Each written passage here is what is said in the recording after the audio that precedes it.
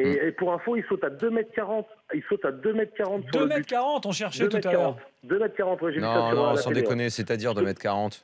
Il saute, en fait, La tête, il- la tête. Ah, elle le est à haut de son 2m40. corps est à 2m40. Ah non, non, sommet de non, il a pas son une crâne, impulsion de 2m40. La tête, ah ouais, la tête, non, non, non, Non, la tête, Je croyais qu'il était sauté au-dessus du Non, Non, est C'est quoi sa taille Un 87, je pense. 85, Ce qui est intéressant, c'est Ah, que le but- 86 c'est que le but est à 2m44. Et moi, c'est effectivement l'impression que j'ai eue. C'est-à-dire que moi, la j'ai regardé à un moment donné sur un des plans, effectivement, il était au niveau de la Tu barre sais ce qui est très fort dans ce qu'il fait?